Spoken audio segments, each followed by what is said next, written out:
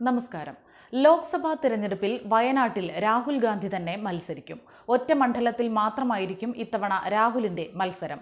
സംഘടനാ ചുമതലയുള്ള A general secretary K C Venugopal കേരളത്തിൽ മത്സരിക്കില്ല. രാഹുൽ ഗാന്ധിക്കൊപ്പം മറ്റു ദേശീയ നേതാക്കൾ കേരളത്തിൽ മത്സരിക്കുന്നത് ഉചിതമല്ല എന്ന തീരുമാനത്തെ തുടർന്നാണ് ഇത്. കോൺഗ്രസിന്റെ പതിനഞ്ച് സിറ്റിംഗ് എം പിമാരോടും മത്സരത്തിനായി മണ്ഡലത്തിൽ സജീവമാകാൻ എ ജനറൽ സെക്രട്ടറി ദീപാദാസ് മുൻഷിയുടെ അധ്യക്ഷതയിൽ ചേർന്ന തിരഞ്ഞെടുപ്പ് കമ്മിറ്റി നിർദ്ദേശം നൽകി. K P C C president K Sudhakaran ഇത്തവണ മത്സരിക്കില്ല. കണ്ണൂരിലും കഴിഞ്ഞ തവണ പരാജയപ്പെട്ട ആലപ്പുഴയിലും പുതിയ സ്ഥാനാർത്ഥിയെ കണ്ടെത്തണം. ഇതിനായി ഉപസമിതിയെ നിയോഗിച്ചു. അതേസമയം വോട്ട് ചോദിക്കുന്നത് കോൺഗ്രസിന് വേണ്ടിയല്ല രാജ്യത്തിനു വേണ്ടിയാണെന്നും കേരളം ജയിച്ചാൽ Congress India ജയിക്കുമെന്നും A president Mallikarjun Kharge. Congress Mahajana Sabha ഉദ്ഘാടനം ചെയ്യുകയായിരുന്നു അദ്ദേഹം. കേരളത്തിൽ ബി ജെ പിയുടെ പതാക ഉയരാൻ അനുവദിക്കരുതെന്ന് അഭ്യർത്ഥിച്ചും ചെറു പാർട്ടികൾ ചില മുക്കിലും മൂലയിലും മാത്രമാണുള്ളത് എന്ന മുന്നറിയിപ്പ് നൽകിയുമായിരുന്നു പ്രസംഗം. അടിസ്ഥാന സൗകര്യ വികസനം പ്രകൃതി ദുരന്തം തുടങ്ങി കേരളം നേരിടുന്ന പ്രശ്നങ്ങൾ കോൺഗ്രസ് മനസ്സിലാക്കുന്നു. കോൺഗ്രസ് നേതാക്കൾ വിശ്രമമില്ലാതെയാണ് ഈ സംസ്ഥാനത്തിനു വേണ്ടി പ്രവർത്തിച്ചത്. കേന്ദ്ര അന്വേഷണ ഏജൻസികളെ പ്രതിപക്ഷത്തിനെതിരായ ആയുധമായി ബി ഉപയോഗിക്കുകയാണ് എന്ന് കുറ്റപ്പെടുത്തിയ ഖാർഗെ കേരളത്തിലെ കലാലയങ്ങളിൽ ഭരണപക്ഷ സംഘടനകളിൽ നിന്ന് വിദ്യാർത്ഥികൾ അതിക്രമം നേരിടുകയാണെന്നും ആരോപിച്ചു. സ്ത്രീ ശാക്തീകരണം എന്ന മുദ്രാവാക്യവുമായി വരുന്ന ബി ജെ പിയുടെ നേതാക്കൾ സ്ത്രീവിരുദ്ധരാണെന്ന് കേരളത്തിലെ സഹോദരിമാർ തിരിച്ചറിയണം. ജാതിയുടെയും മതത്തിന്റെയും പേരിലുള്ള വോട്ട് വാങ്ങലാണ് അവർ നടത്തുന്നത്.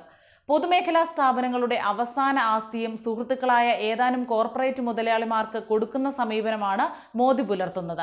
യുവാക്കൾക്ക് തൊഴിൽ സൃഷ്ടിക്കുന്ന സാമ്പത്തിക നയത്തിലായിരിക്കും കോൺഗ്രസിന്റെ ശ്രദ്ധയെന്ന് ഖാർഗെ പറഞ്ഞു.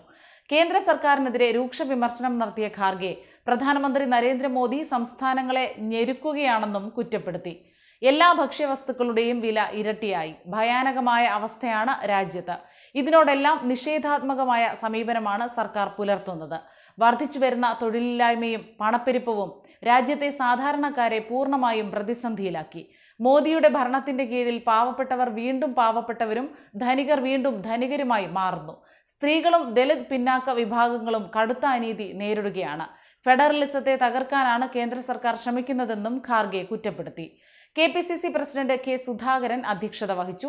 A I C C general സെക്രട്ടറിമാരായ കെ സി വേണുഗോപാൽ ദീപാദാസ് മുൻഷി പ്രതിപക്ഷ നേതാവ് V D Satheesan Ramesh Chennithala M പിമാരായ Kodikunnil Suresh Ramya Haridas T N Prathapan D C C president Jose Vallur V M Sudheeran M M Hassan T U Radhakrishnan എന്നിവർ പ്രസംഗിച്ചു. Mathew Kuzhalnadan M L A ഖാർഗെയുടെ പ്രസംഗം പരിഭാഷപ്പെടുത്തി. തേക്കിൻകാട് മൈതാനിയിലെ സമ്മേളനത്തിൽ പതിനായിരങ്ങളാണ് പങ്കെടുത്തത്. അയോധ്യയുമായി ബന്ധപ്പെട്ട് എല്ലാവരും വെള്ളത്തിന് തീ പിടിപ്പിക്കാൻ ശ്രമിക്കുമ്പോൾ സമാധാനത്തിന് വേണ്ടി സംസാരിക്കുകയാണ് സാധിക്കലി തങ്ങൾ ചെയ്തതെന്ന് പ്രതിപക്ഷ നേതാവ് വി ഡി സതീശൻ പറഞ്ഞു. ഭിന്നിപ്പുണ്ടാക്കി മുതലെടുപ്പ് നടത്താനുള്ള ശ്രമമാണ് എതിരാളികൾ നടത്തുന്നത്. ഇരുവശത്തുമുള്ള തീവ്രവാദ സ്വഭാവമുള്ള ആളുകളിലേക്ക് വിഷയം എത്താതിരിക്കാനുള്ള ശ്രമമാണ് തങ്ങൾ നടത്തുന്നതെന്നും അദ്ദേഹം പറഞ്ഞു. അയോധ്യയിലെ രാമക്ഷേത്രവുമായി ബന്ധപ്പെട്ട പാണക്കാട് സാധിക്കലി തങ്ങളുടെ പ്രസ്താവന ദുർവ്യാഖ്യാനം ചെയ്ത് വിവാദമാക്കേണ്ടതില്ലെന്ന് മുസ്ലിം ലീഗ് അഖിലേന്ത്യാ general secretary P K Kunhalikutty വ്യക്തമാക്കി. ബി ജെ പിയുടെ കെണിയിൽ വീഴേണ്ടതില്ല എന്ന സതുദ്ദേശത്തോടെയായിരുന്നു തങ്ങളുടെ വാക്കുകൾ. ബാബറി മസ്ജിദ് തകർക്കപ്പെട്ട സമയത്ത് മുഹമ്മദ് അലി ശിഹാബ് തങ്ങളുടേതിന് സമാനമാണ് സാധിക്കലി തങ്ങളുടെ വാക്കുകളെന്നും കുഞ്ഞാലിക്കുട്ടി പറഞ്ഞു.